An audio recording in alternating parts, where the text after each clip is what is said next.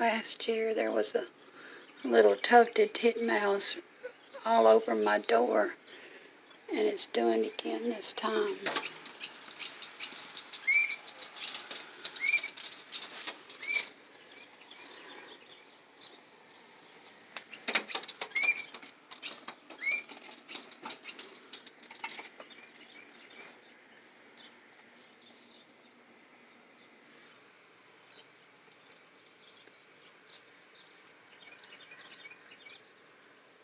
I don't know what it is it wants.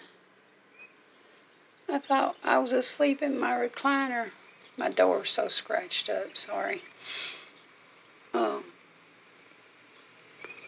I was asleep in my recliner and I thought it was uh, my cat scratching the door wanting out. And it was that little bird scratching the door.